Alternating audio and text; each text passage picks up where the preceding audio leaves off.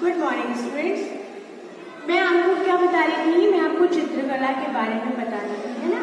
और last video में हम लोगों ने कौन कौन सी चित्रकला पढ़ी थी? पट्टचित्र वर्ली और कलम चित्रकारी आज हम लोग कुछ और चित्रकला को देखेंगे, जैसे कि पाठ चित्र तिंजौर चित्र और मधुबनी मतलब इन चित्रकला को आज हम लोग देखेंगे। और मैंने आपको ये बताया था, जब मैं इन सारी चित्रकला के बारे में बता दूँगी उसके बाद मैं आपको एक असाइनमेंट दूँगी जो आपको करके मुझे देना होगा, है ना?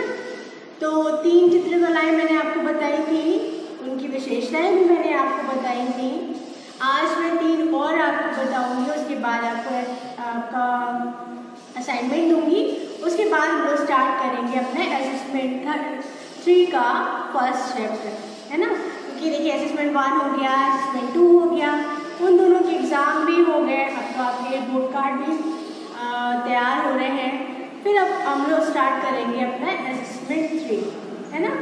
तो पहले चलिए हम लोग जो चित्रकला को देख रहे थे, उसके बारे में आगे बढ़ते हैं। आज हम लोग किन किन चित्रकला के बारे में जान, जानेंगे? आइए चलिए उन्हें देखते हैं। तो आज हम लोग जानेंगे पाठ चित्र, चित्रकला के बारे में तिंजौर चित्र और मधुबनी। इन तीन चित्रकला के बारे में हम लोग जानेंगे। बाकी तीन चित्रकला को हम लोगों ने पहले की वीडियो में ही देख लिया है ना? आ, वैसे तो मैं सोच रही थी थर्ड का हम लोग फ़र्स्ट चैप्टर स्टार्ट करते हैं लेकिन क्योंकि ये टॉपिक अधूरा रह गया था आधा रह गया था तो मैंने सोचा पहले से ही कंप्लीट कर देते हैं। उसके बाद हम लोग आगे बढ़ते हैं अपने असिस्टेंट थर्ड के फ़र्स्ट चैप्टर की ओर है ना? तो आज चलिए पहले एक एक करके इन तीनों चित्रकला के बारे में हम लोग जानते हैं कि ये चित्रकला कैसे बनती है ये कहाँ की प्रसिद्ध है जैसे मैंने पहले आपको बताएँगे कि ये वहाँ बनाई जाती हैं, इनको ऐसे बनाया जाता है, उस पेंटिंग को बनाने में किस किस चीज़ों का इस्तेमाल किया जाता है, सब चीज़ें बताएँगे ना। ऐसे ही चित्र चिंदौर चिंदौर तंजौर चित्र और मधुबनी चित्र। इसके बारे में आज मैं आपको बताऊँगी कि ये कहाँ की प्रसिद्ध है। इनको बनाने के लिए हमें किस किस चीज़ की ज़रूरत पड़ती है, इनको कैसे बनाया जाता है इसमें क्या दर्शाया जाता है या किस जगह की प्रसिद्ध है? इनकी क्या विशेषता है ये सब चीज़ें आज? मैं आपको इनके बारे में आपको बताऊँगी। फिर उसके बाद कल हम लोग स्टार्ट करेंगे। अपना क्या? यस असेसमेंट थर्ड का फ़र्स्ट चैप्टर तो चलिए इनको देख। तो देखिए, पहले जानते हैं तंजौर चित्र। ये क्या कौन सी चित्रकला होती है? तो जो तंजौर चित्रकला है, ये चित्रकला कहाँ की प्रसिद्ध है? तमिलनाडु की प्रसिद्ध है। यानी कि यह चित्रकला तमिलनाडु में प्रचलित है। इसमें पौराणिक दृश्यों को दिखाया जाता है, यानी जो तंजौर चित्रकला है, इसमें क्या किया जाता है? पौराणिक दृश्यों को दिखाया जाता है। इन चित्रों का मूल फलक कटहल की लकड़ी का बना होता है। तो ये जो चित्रकला होती है, इसका मूल फलक जो होता है, वो किसका बना होता है? कटहल की लकड़ी का बना होता है। चित्रों के निर्माण में वनस्पति रंगों के साथ साथ स्वर्ण पत्रक मणिक हीरे और अन्य मूल्यवान रत्मणियों का उपयोग किया जाता था। यानी ये जो चित्रकला थी, इसमें किस किस, इसमें जो वनस्पति रंग थे, यानी जो प्राकृतिक रंग मैंने आपको बताया था ना कि सब्ज़ी से बन रहे थे, बनाए जाते हैं, फूलों से बनाए जाते हैं तो इस चित्रकला में इसके साथ साथ स्वर्ण पत्रक माणिक, हीरे और दूसरे मूल्यवान रत्मणियों का उपयोग भी किया जाता है। लेकिन अब मोती और कांच का उपयोग भी किया जाता है। यानी पहले जब इस चित्रकला को बनाया जाता था तो वनस्पति रंग रत्मणियाँ इन्हीं चीज़ों का प्रयोग किया जाता था। लेकिन अब जो है, इस चित्रकला को बनाने के लिए मोती और कांच का भी प्रयोग किया जाता है। यानी इस चित्रकला को जैसे लोग रंग भर के सजाते थे ना, ऐसे ही रंग का तो प्रयोग करते हैं, लेकिन इसमें अब मोती और कांच का प्रयोग किया जाता है इनको सजाने के लिए। उसमें क्या क्या लगाया जाता है? मोती और कांच। तो क्या है ये? कहाँ की प्रसिद्ध है? कहाँ की प्रचलित है? तमिलनाडु की। इसमें क्या दिखाया जाता है? पौराणिक दृश्य और जो प्रयोग किया जाता है वो मैंने आपको बताया। इसके बाद देखते हैं हम लोग ये चित्रकला फाड़ चित्र, चित्रकला। अब फाड़ चित्र, चित्रकला क्या होती है? देखिए, साइड में इन चित्रकला की एक एक चित्र बना भी हुआ है। देख रहे हैं ना आप?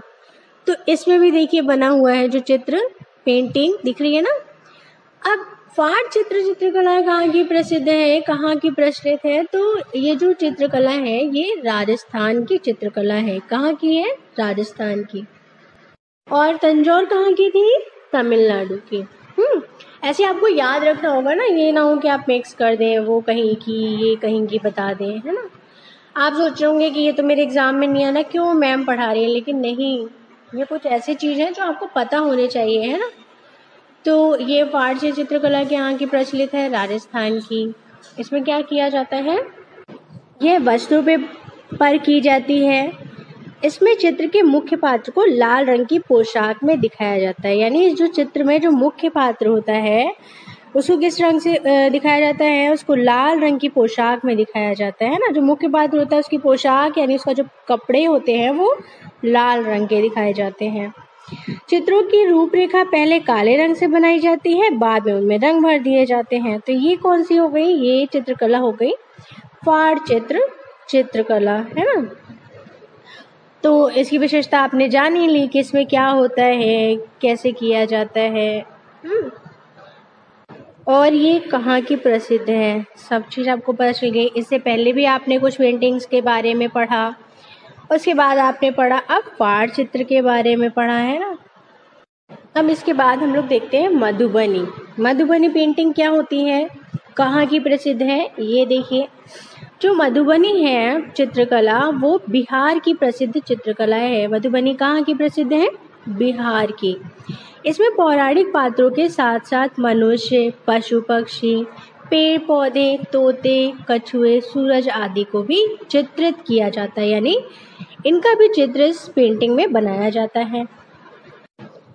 लेकिन चित्र बनाने से पहले कागज़ पर सूती कपड़े से गोबर का घोल लगाकर सुखाते हैं, यानी जिस पर इसको जिस जिस कागज़ पर इस चित्र को बनाते हैं उसको क्या करते हैं? कागज़ पर सूती कपड़े से गोबर का घोल लगाकर सुखाते हैं। इसमें प्रयोग होने वाले रंगों को घर पर ही बनाया जाता है जैसे हल्दी से पीला रंग चावल के चूर्ण से सफ़ेद रंग पलाश के फूलों से नारंगी रंग आदि। यानी इसमें जिन रंगों का प्रयोग किया जाता है वो सब घर पे ही बनाए जाते हैं सारे प्राकृतिक रंग होते हैं। रंगों का पक, रंगों की पकड़ बनाने के लिए इसमें बबूल के वृक्षों का की गोंद को मिलाया जाता है। यानी जो वो कलर उनमें चिपके रहें, इसके लिए क्या किया जाता है? जो बबूल का पेड़ होता है, उसमें से जो गोंद निकलती है, उसको इसमें मिलाया जाता है ताकि ये कलर इसमें चिपके रहे। तो ये हो गई हमारी मधुबनी पेंटिंग ये तो आपने देखा ना, आज की चित्रकला कौन कौन सी? पार चित्र और तंजौर चित्र और मधुबनी। तो पार चित्र में आपने क्या देखा कि ये चित्रकला राजस्थान की प्रसिद्ध है इसमें क्या किया जाता है? इसमें ये जो पेंटिंग होती है, वस्त्र बनाई जाती है। पहले इन्हें काले रंग से बनाया जाता है, फिर उसके बारे में रंग भर दिया जाता है। तो ये आपने किस ये चीज़ आपने किस चित्रकला के बारे में पढ़ी? ये आपने पढ़ी फाड़ चित्रकला के बारे में, है ना? फिर देखिए चिंदौर तंजौर चित्रकला क्या?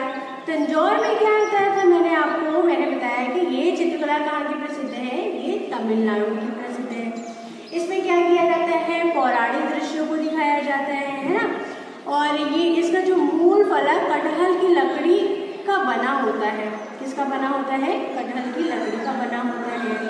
और इसमें क्या होता है? वनस्पति रंगों के साथ साथ स्वर्णपत्र, मणिक, इन सब चीज़ों का प्रयोग किया जाता है। है ना? और इसमें मोती और कांच का उपयोग भी किया जाता है। कौन सी पेंटिंग पेंटिंग में? तंजौर पेंटिंग में, है ना? तंजौर चित्र चित्रकला में। फिर देखिए मधुबनी मधुबनी कहाँ की मधुबनी कहाँ की प्रसिद्ध है? मधुबनी बिहार की प्रसिद्ध है है ना? मधुबनी जो चित्रकला है, मधुबनी जो पेंटिंग है, ये कहाँ की प्रसिद्ध है? ये बिहार की है। इसमें भी क्या होता है? पौराणिक पात्रों के साथ साथ मनुष्य, पशु, पक्षी, पेड़, पौधे, तोते इस सबको चित्रित किया जाता है। यानी इस पेंटिंग में ये सब चीज़ें बनाई जाती है। इसमें पौराणिक दृश्य तो बनाया जाता है, उसके साथ साथ क्या बनाया जाता है? पेड़, पौधे, तोते, पशु, पक्षी, इन सब चीज़ों को भी मधुबनी में बनाया जाता है। पाठ चित्र कहाँ की प्रसिद्ध है, राजस्थान की तंजौर कहाँ की प्रसिद्ध है, तमिलनाडु की मधुबनी कहाँ की प्रसिद्ध है ये बिहार की। तो देखिए, आज आपने इन तीनों को भी जान लिया। तो देख, मैंने आपको बोला था कि लास्ट में आपको एक असाइनमेंट दूँगी तो क्या है? एक जो मैंने आपको छह चित्रकला के बारे में बताया है ना, कौन सा?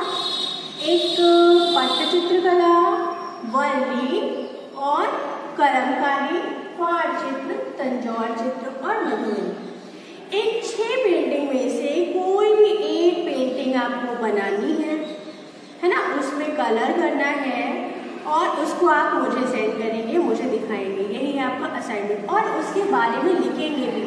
जैसे जो चीज़ें मैंने आपको बताई थी ये कहाँ की प्रसिद्ध है, ये किस पर बनाई जाती है इसको कैसे बनाया जाता है इसमें कौन से रंग का प्रयोग किया जाता है, इनको कैसे रखा जाता है, जैसे मैंने आपको एक एक पेंटिंग के बारे में बताया है। ऐसे ही छः मैंने बताई है छः में से कोई भी एक आपको बनानी है और उसके बारे में थोड़ा सा लिखना है। लेकिन किससे? किस पे? स्क्रैप बुक पे, ठीक है? उसके बाद वो आप मुझे सेंड करके दिखाइएगा कि आपने क्या बनाया, कितना सीखा, कितना किया तो यही होगा आपका असाइनमेंट तो आज तो हम लोगों ने अभी चित्रकला वाला टॉपिक जो कि पहले अधूरा छूट गया था, आपकी एक्टिविटी के पहले, उसको हम लोगों ने पूरा किया है। अब हम लोग स्टार्ट करेंगे असिस्मेंट थर्ड तो असिस्मेंट थर्ड हम स्टार्ट करेंगे कल से, है ना? तो कल आपका फ़र्स्ट चैप्टर हुआ हम सुमन एक उपवन के। हिंदी लिटरेचर का पार्ट है। इसको एक बार आप अपने आप से पढ़कर देखिएगा।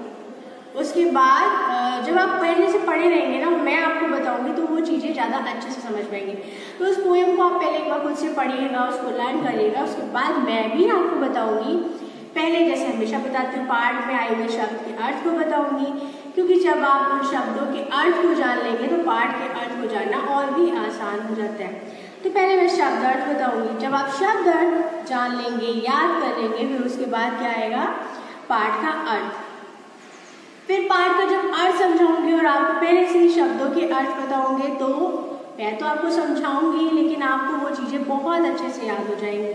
फिर ये नहीं होगा कि एग्ज़ाम आ गया आपका, अभी तक आपने कुछ पढ़ा ही नहीं है।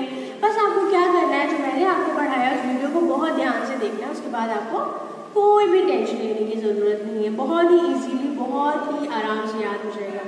लेकिन उसके लिए आपको क्या करना है, मैम ने जो बोला है उतना याद करना होगा, ठीक है?